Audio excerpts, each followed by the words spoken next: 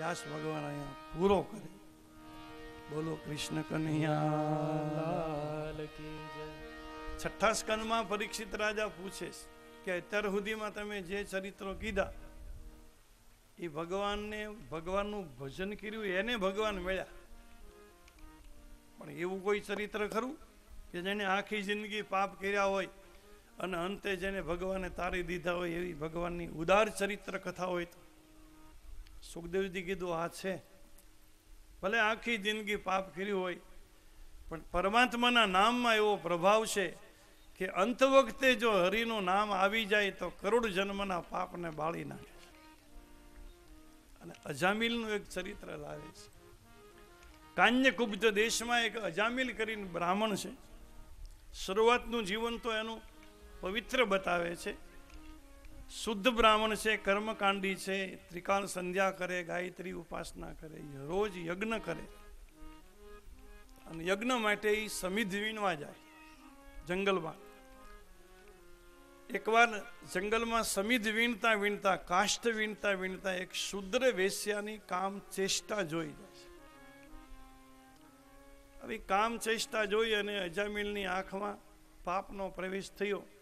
કારણ કે પાપની શરૂઆત આંખથી થાય. પહેલા મન ન બગડે, પહેલા આંખ બગડે. આંખ છે ને એ અંદર જવાના દરવાજા છે. પાપ આંખથી જ અંદર જાય. એટલે રામાયણમાં પહેલા દ્રષ્ટિની શુદ્ધિ છે, મનની શુદ્ધિ તો અયોધ્યા કાંડમાં છે. ગુરુપદ રજ મુજ મંજન અંજન નયન અમી દ્રગ દોષ વિવેજન તે કરી બિમલ વિવેક બિલોચન બર્નહુ રામ ચરિત ભવ મોચન સ્વરૂપ. કારણ કે બાળકનું મન ખરાબ ન હોય, બાળકની આંખ જ સાચવવાની. પેલી આંખ બગડે, પછી મન બગડે, પછી વિચાર બગડે, પછી આચાર બગડે, અને પછી બધું બગડે. એટલે અજામિલની આંખમાં પાપનો પ્રવેશ શુદ્ર વેશ્યાને ઘરે લાવે છે. હવે કુસંગ થયો. અજામિલે કુસંગ કર્યો. શુદ્ર વિશ્યા ઘરમાં આવી. પરિણામે એના બ્રાહ્મણના ધર્મ બધા ધીરે ધીરે છૂટવા લાગ્યા. સંધ્યા થતી બંધ થઈ, ગાયત્રી ઉપાસના બંધ થઈ કુસંગથી તો કોણ આ જગતમાં ફાયદો કોઈને થયો નથી? કોણ કુસંગથી ફાઈ નસાઈ કુસંગ કરવાથી કોનો નાશ થયો? દરિયાની, દરિયાને કોઈ બાંધ્યો નથી, નદીઓને બાંધી છે, રાજાએ નદીઓને નાથી છે. દરિયાને કોઈ નાથી ન શકે, પણ રામે દરિયાને નાથ્યો. દરિયાને બંધાવવું પડ્યું. શું કામ? કે કરત કુસંગ અને ચાહત કુશલ એહી બડો અફસોસ. કુસંગ કરવો અને કુશળતા ચાહવી, એ તો અફસોસની વાત છે. કુસંગ કરવો અને કુશળતા કોઈ દી રહે જ નહીં. કરત કુસંગ અને ચાહત કુશલ એહી બડો અફસોસ કે મહિમા ઘટ્યો, સમુદ્ર કો રાવણ બેસો પડોશ. રાવણ બાજુમાં છે ને, એમાં દરિયાની આ સહન કરવું પડ્યું કે દરિયાને નથાવવું પડ્યું, કારણ કે કુસંગનું પરિણામ છે. પાડોના પ્રતાપ કાયમ ભોગવી કાગડા. એમ આ આ કુસંગનો તો એ પ્રભાવ જ છે અને પછી તો અજામિલનું જીવન પાપના રસ્તે શરૂ થયું. ચોરી કરે, જુગાર રમે, માંસાહાર કરે, શરાબ પીવે, વ્યભિચાર અજામિલને આજે છેલ્લો દીકરો થાય છે ને, એ તો દસમો દીકરો છે. એની પહેલા નવ દીકરા છે. ભક્તમાલમાં કથા આવે છે. તમારા હાથમાં ભક્તમાલ નાભાજી કરતા આવી જાય તો અજામિલનું ચરિત્ર વાંચ. બ્રાહ્મણ છે અને બ્રાહ્મણના ઘેરે આ ઉછરે છે અજામિલ. હવે પાપ કરતા કરતા કરતા કંઈ ખામી ન હોય છેલ્લું જ્યારે જીવન, છેલ્લો સમય આવ્યો, મૃત્યુ વખતે પ્રાણ જતો નથી. યમના દૂતો પ્રાણ ખેંચવા આવ્યા. અજામિલને એમ કે, છેલ્લે છેલ્લે દીકરાનું મોઢું જોઈ લો. સાધુ આવે છે, સાધુ આશીર્વાદ આપે, તારે ઘરે દીકરો થશે, એનું નામ તું નારાયણ રાખજે. સાધુ જતાયરા અજામીનને ત્યાં દીકરાનો જન્મ થયો દસમો દીકરો હતો ને એનું નામ રાખ્યું નારાયણ. અને પછી અજામિલનો છેલ્લો સમય, અજામિલને એમ કે મરતા મરતા દીકરાનું મોઢું જોવું આ બાજુ પ્રાણ ખેંચાય છે, યમરાજના દૂતો આવ્યા છે. અને આ બાજુ અજામિલ દીકરાનું નામ લઈને બોલાવે છે, તૂટક સ્વરે નારાયણ નારાયણ નારાયણ. અને અંત વખતે ભગવાનનું, ભલે નહીં દીકરાનું નામ હતું, પણ બોલ્યા તો ભગવાનનું નામ. અને બધાય પાપ બળીને ભસ્મ થયા જાકર નામ મરત મુખ ગાવા, ગદમ મુકત હોય શ્રુતિ ગાવા. ભગવાનના પાર્ષદો આવ્યા, વિષ્ણુ ભગવાનના યમના દૂતોને કીધું કે આ જીવ હવે વૈકુંઠનો અધિકારી છે. સાધુનો એક શબ્દ, તારી દેવ, એક શબ્દ ગુરુદેવ કા. તાકા અનંત વિચાર થાકે ગુણીજન પંડિતા કોઈ બિરલા પામે. પાર તો વેદ થકે અને બ્રહ્મા થકે થકે શંકર ને શેષ. બાકી ગીતા કો જહાં ગમ ના પડે, વહાં મેરા સદગુરુ કા ઉપદેશ. એક શબ્દ જો લાગી જાય સાધુનો, નરકમાં જાતો હોય જીવ જે નારકી જીવ હોય, જેની દુર્ગતિ જ હોય, પણ જો સાધુનો એક શબ્દ લાગે ને તો એક શબ્દ એ નરકમાં જતા જીવને વૈકુંઠમાં પહોંચાડી દે એટલી સાધુના શબ્દમાં તાકાત. એટલે તો સવા ભક્તે લખ્યું એ નવ મે નિર્ભય થયો નાતો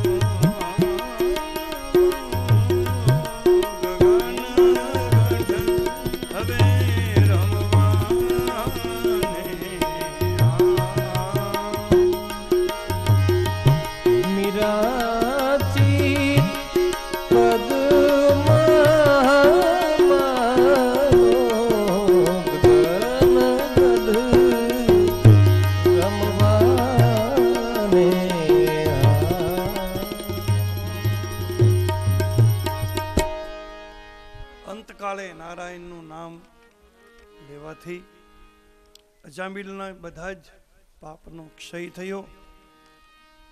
ભગવાન વિષ્ણુના પાર્ષદો આવી અને અજામિલને વૈકુંઠમાં લઈ સુખદેવજી મહારાજ પરીક્ષિત રાજાને સમજાવે કે પરમાત્માના નામમાં અદ્ભુત તાકાત છે.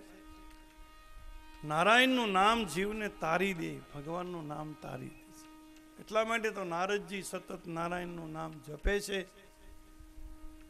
નારદજીને દક્ષ પ્રજાપતિનો શ્રાપ છે એટલે કોઈ જગ્યાએ બેસતા નથી.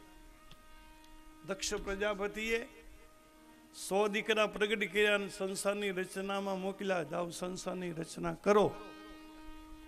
દક્ષના દીકરા જતા હતા નારદજી રસ્તામાં સામા મળ્યા. પૂછું કઈ બાજુ?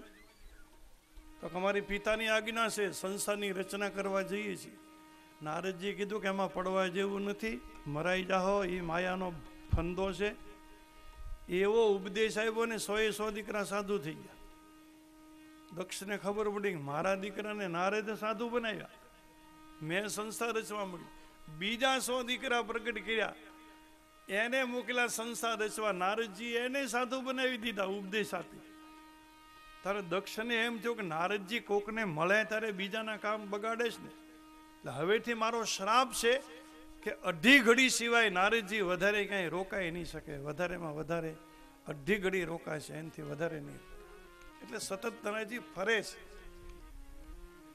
ઇન્દ્ર મહારાજ એક દેવી યજ્ઞ કરે છે, જગદંબાનો. એમાં વિશ્વરૂપ દેવતાઓનો આચાર્ય છે મહારાજ. યજ્ઞ કરાવવાળો, પૂજ, પુરોહિત. અને વિશ્વરૂપ છે ને એ ત્વષ્ટાનો દીકરો છે. ત્વષ્ટાની ગણતરી દેવલોકમાં થાય. વિશ્વરૂપને ત્રણ મુખ છે. ત્રણ મોઢા છે.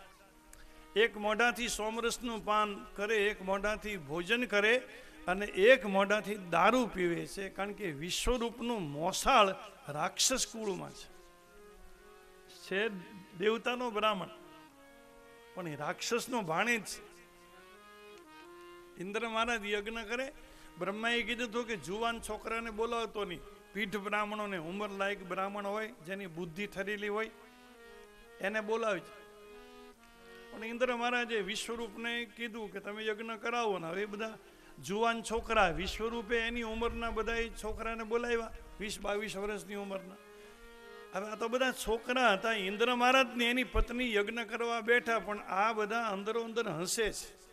જો કે એ એની મશ્કરી કરતા હતા, એની રીતે હસતા હતા. હસતા જાય ને યજ્ઞ કરાવતા જાય. થોડી વાર તો ઇન્દ્રિય બધું સહન કર્યું. પણ પછી ઇન્દ્રને એમ થયું કે આ છોકરા અમે બેઠા જ્યારથી હસે છે, એ અમારી જ મશ્કરી કરે છે. ક્રોધમાં ને ક્રોધમાં બાજુમાં વજ્ર પીડ્યું હતું. ઉપાડ્યું, વજ્ર ઉપાડી અને પ્રહાર કર્યો ને વિશ્વરૂપનું માથું કાપી દીધું. આચાર્યને મારી નાખ્યો, બ્રાહ્મ, બ્રહ્મહત્યા કરી. અને એ બ્રહ્મહત્યા ઇન્દ્ર પાછળ પડી. ઇન્દ્ર ગયા બ્રહ્મા આગળ મને બચાવો, બ્રહ્મા કે મેં તને ના નહોતી પાડી? કે જુવાન છોકરા બ્રાહ્મણને બોલાવતો નહીં. ઉંમર લાયક પીઠ બ્રાહ્મણને બોલાવજે પરિપકવ ઇન્દ્રે કીધું, પણ હવે જે થાતા થઈ ગયો, મને આમાંથી બચાવ. બ્રહ્મહત્યા મારી પાછળ છે. પછી બ્રહ્મહત્યાના ચાર ભાગ કર્યા અને ચાર જગ્યાએ વહેંચી દીધી. એક ભાગ પૃથ્વીને આપ્યો, એમાં ખાડો પડે ને એની મેળે પૂરાઈ જાય. બ્રહ્મહત્યાનો એક ભાગ પૃથ્વીને આપ્યો એક ભાગ ઝાડને આપ્યો, જંગલી ઝાડમાંથી કાળો રસ નીકળે. કાંટાવાળા ઝાડ હોય જંગલમાં, અને એ ઝાડમાંથી કાળો રસ જે નીકળે છે ને, એ બ્રહ્મહત્યાનો ભાગ છે. ત્રીજો ભાગ જળને આપ્યો, પહેલો વરસાદ પડે અને નદીમાં જે પૂર આવે ને, એના જે ફીણ થાય, એ માછલી ચાખે નહીં. માછલી ચાખી જાય તો જીવી ન શકે ને મરી ન શકે. એક ભાગ જળને આપ્યો, એક ભાગ પૃથ્વીને આપ્યો, એક ભાગ વૃક્ષને આપ્યો અને બ્રહ્મહત્યાનો એક ચોથો ભાગ સ્ત્રીને આપવામાં આવ્યો કે દર મહિને માતા રજસ્વલા બને, દર મહિને માતા માસિક ધર્મમાં આવે. એટલે ચાર દિવસ માટે એનો સ્પર્શ વર્જિત છે. હવે વિશ્વરૂપને માર્યો તો ત્વષ્ટાને એમ થયું, મારા દીકરાને ઇન્દ્રને માર્યો, હું એવો દીકરો પ્રગટ કરું કે ઇન્દ્રને મારે. અને ત્વષ્ટાએ યજ્ઞ કર્યો, દીકરા માટે યજ્ઞ કુંડમાંથી એક દીકરો પ્રગટ થયો, પણ આખા આકાશને ઢાંકી દીધું, આવૃત કરી દીધું. એનું નામ જ વતરાસુર. અને ઇન્દ્રે કીધું કે, આ તારા ભાઈને માર્યું છે ઇન્દ્રને. તું એને માર. અને વતરાસુર કે રા હું વેર લઈશ. વતરાસુરને ઇન્દ્ર સિવાય કોઈ સાથે વેર નહોતું. બીજા કોઈ દેવતા સાથે વાંધો નહોતો. અને વતરાસુર વિષ્ણુ ભગવાનનો ઉપાસક હતો. વિષ્ણુ ભગવાનનો ભક્ત હતો. એને બીજા કોઈ સાથે વાંધો નહોતો. વાંધો ઇન્દ્ર સાથે જ હતો. અને પછી વતરાસુરનું ને ઇન્દ્રનું યુદ્ધ થાય, પણ ઇન્દ્ર પહોંચે નહીં. વતરાસુરને ન પહોંચે. વતરાસુરનો અર્થ છે આસુરી વૃત્તિ. જેની રાક્ષસી બુદ્ધિ, જેની આસુરી બુદ્ધિ, જેની બગડી ગયેલી બુદ્ધિ અને ઇન્દ્રનો અર્થ થાય ભોગ. ભોગથી મારીને તમારી બગડેલી બુદ્ધિ કોઈ દી સુધરે નહીં. ભોગથી મારીને તમારી બુદ્ધિ બગડે. ઇન્દ્ર તો સુધારી મારી જ ન શકે. ભોગ ભોગ સંસારના ભોગથી બુદ્ધિ સુધરે કોઈ દી. અને વ્રતનો અર્થ, વતરાસુરનો અર્થ શું છે? આપણે જે વ્રત કરીએ છીએ, પૂનમનું એકટાણું કે ઉપવાસ કરતા હોય સોમવાર રહેતા હોય, કોઈ શનિવાર રહે, કોઈ મંગળવાર રહે વ્રતનો અર્થ એવો છે કે તમે એવી કોઈ ક્રિયા કરો કે તમારી મારી વૃત્તિને સુધારે. જે કર્મ મારી તમારી વૃત્તિ સુધારે એને વ્રત કહેવાય. ભૂખ્યા રહેવાનો કોઈ મતલબ નથી. ભૂખ્યું રહેવું વ્રત નથી. સાધન એવું કરો, સ્મરણ એવું કરો કે મારા તમારા મનને સુધારે મારી તમારી વૃત્તિ સુધારે. જે મારી તમારી વૃત્તિ સંસારમાં ડૂબી છે, જે આમ તમોગુણી છે આસુરી છે, તામસી વૃત્તિ છે. એ મારીને તમારી બુદ્ધિને સાત્વિક બનાવે એવી કોઈ સાધના કરવામાં આવે? એને વ્રત કહેવાય. પછી તો ઇન્દ્ર મહારાજ વિષ્ણુ આગળ ગયા કે મહારાજ મરતો નથી, તો તારાથી નહીં મરે. દધીચીના હાડકા લઈ આવ દધીસી ઋષિ આનું હાડકું આપે, એનું વજ્ર બનાવ. દધીસી એટલે ઋષિ થાય ને, ઋષિ એટલે સત્સંગ, ઋષિ એટલે હરિનામ. જેણે સત્સંગ કર્યો છે, જેણે હરિનામ જપ્યા છે અને જેનો સત્સંગ હાડ સુધી પહોંચી ગયો છે, હાડમાં ઉતરી ગયો છે. જેનું હરિનામ હાડમાં ઉતરી ગયું.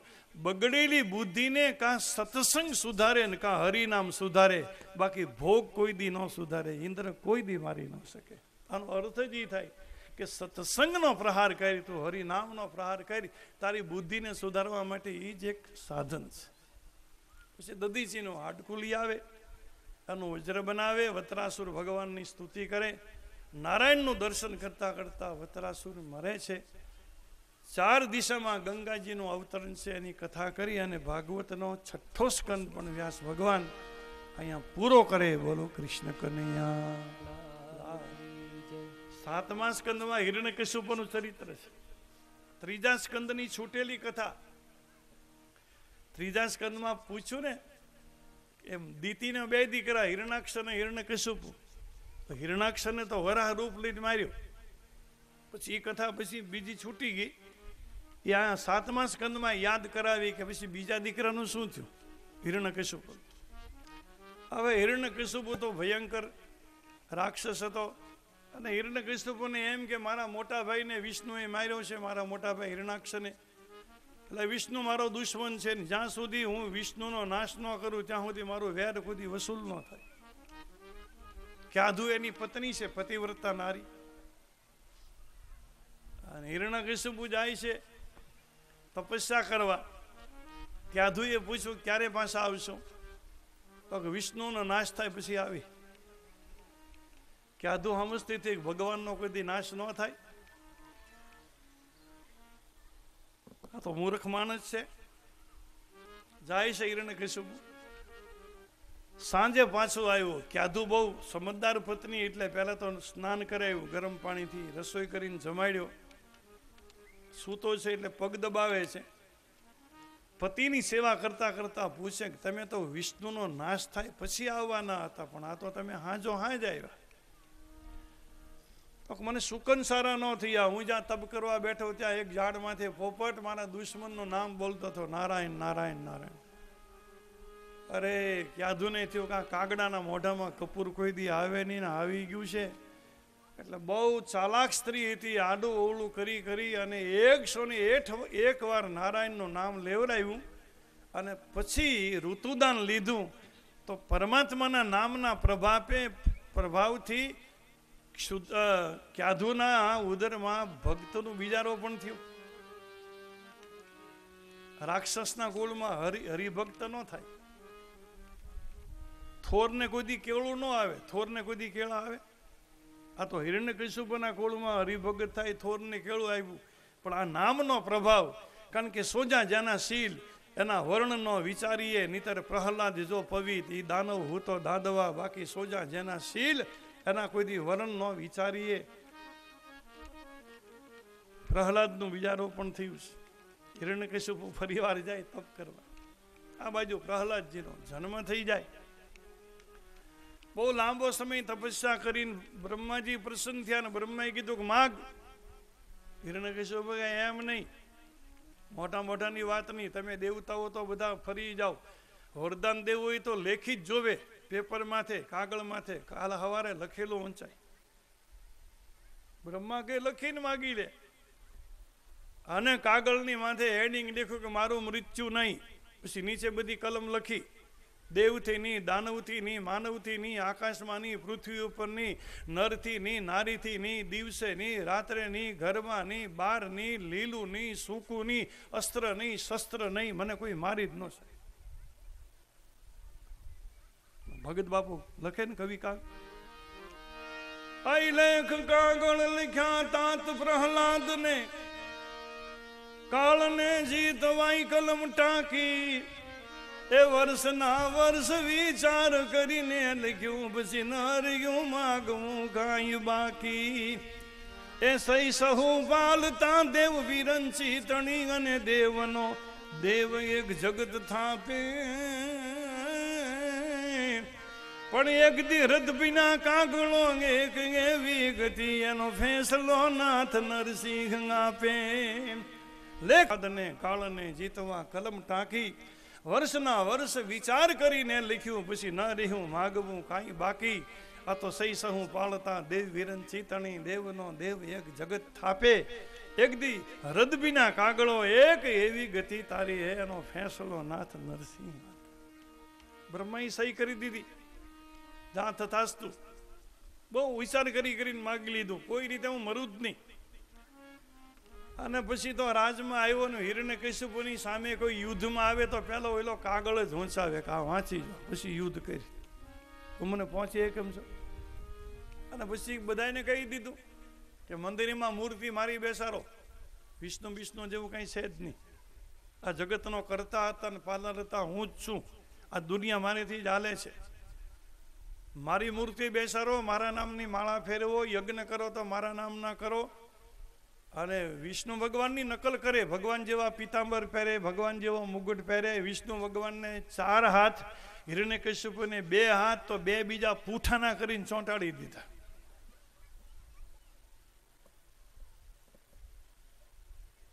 પ્રહલાદજીના દીકરા સંડાને અમરકને કીધું આને રાક્ષસી વિદ્યા ભણાવો.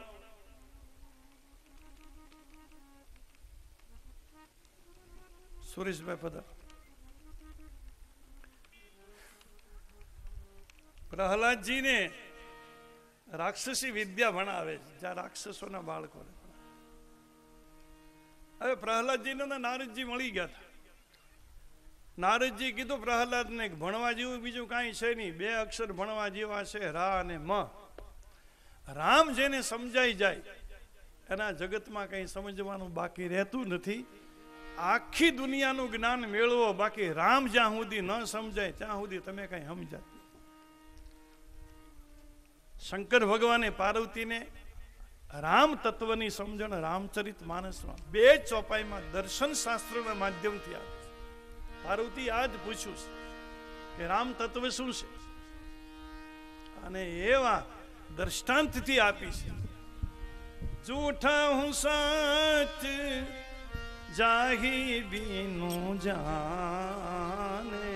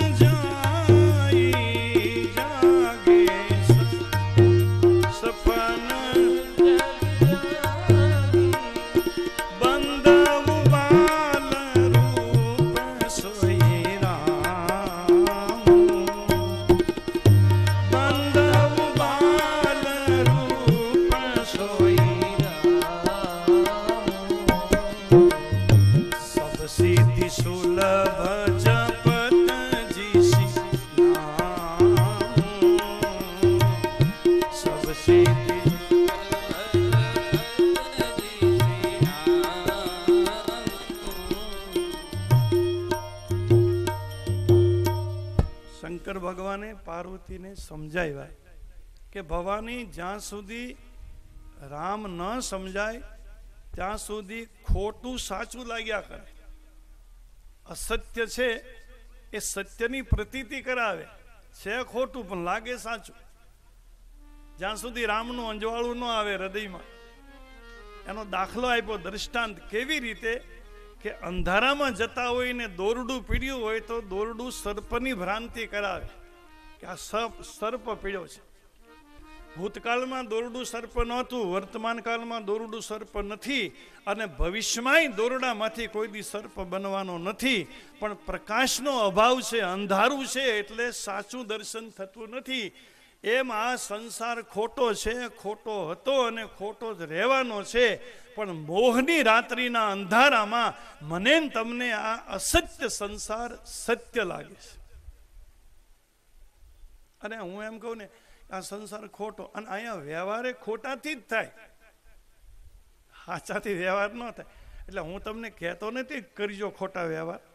એ મારી સલાહ. અને કાંઈ તમે અમારું કીધેલું માનવાના નથી. તમે જે કરો એ જ કરવાના છો, પણ આ તો હું તમને વાત કરું, હું તમને એક દાખલો આ ખોટું કેવી રીતે કહું?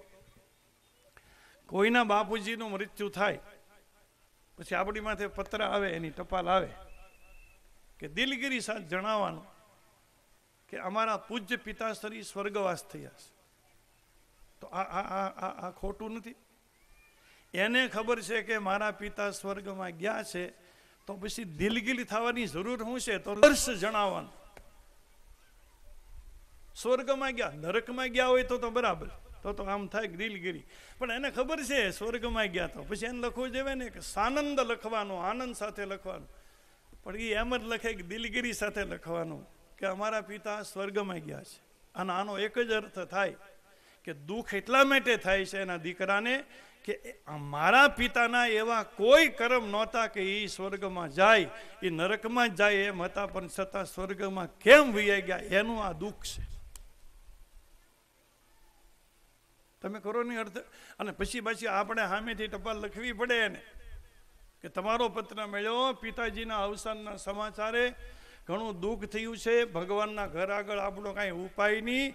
અને છેલ્લે મારે તમારે એને લખવું જ પડે કે તમારા પિતાને પરમાત્મા પરમ શાંતિ આપે. આમ લખવું પડે. તમારા પિતાના આત્માને ભગવાન શાંતિ આપે, કારણ કે તમે અહીંયા આપી નથી. અહીંથી તો એ ઉપાધિ લઈને જ ગયા છે. એટલે હવે ઉપરીવાળો એને શાંતિ આપે. આવું બધું કહેવું પડે. આ સંસાર ખોટો અને છતાંય મારે તમારા વ્યવહાર કરવો જ પડે છે. એટલે શંકરે કીધું કે જે ખોટું છે એ સાચું લાગે છે. જૂઠ હું સત્ય, જાહિબીનું જાણે. જેને જાણ્યા વગરનું ખોટું સાચું લાગ્યા કરે. અંધારામાં પડેલું દોરડું જેમ સર્પ લાગે પણ એકવાર રામનો અંજવાળું હૃદયમાં આવી જાય તો જહી જાને જગ જાય હેરાઈ. એકવાર જો પ્રકાશ થાય તો જગતની ભ્રાંતિનો અંત આવી જાય. કેવી રીતે? કે સપનું ચાલુ હોય તો સપનું સાચું જ લાગે. સપનામાં જે પ્રક્રિયા થાય એ સાચી લાગે. સપનું ખોટું જ છે, પણ એ વખતે આપણને સાચું લાગે. એ ખોટું છે એમ ક્યારે ખબર પડે? કે કાં કોક મને તમને જગાડી દે અને કાં આપણે આપણી મિલે જાગી જાય ત્યારે ખબર પડે. કે હું જે સાચું માનતો તે ખોટું છે. કાં કોઈ સદગુરુ મને તમને જગાડે અને કાં આપણે પોતે સાધના કરીને જાગી જાય તો આ સંસારનું સપનું ખોટું લાગે જ્યાં સુધી રામનું અંજવાળું નહીં આવે, ત્યાં સુધી જગતની ભ્રાંતિ નહીં જાય.